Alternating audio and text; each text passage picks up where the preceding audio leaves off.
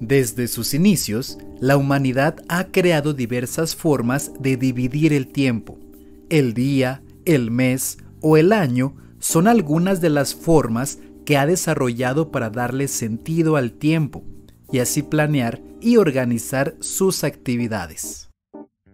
Cada sociedad organizó el tiempo según sus necesidades, la mayoría de ellas con aspectos relacionados a hechos naturales.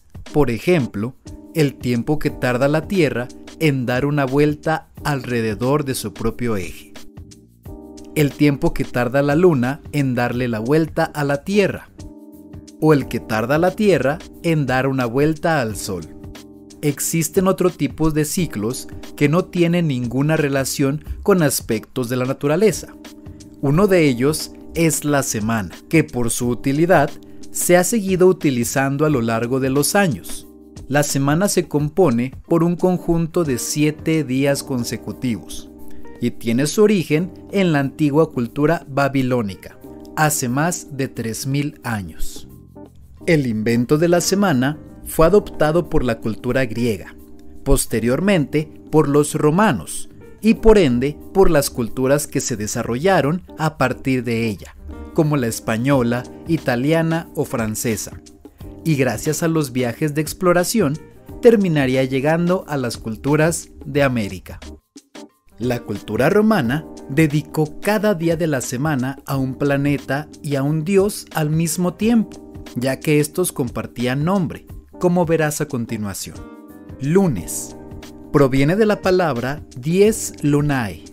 Esta palabra significa día de la luna, pero también era la diosa de la lluvia y el buen tiempo de cosechas.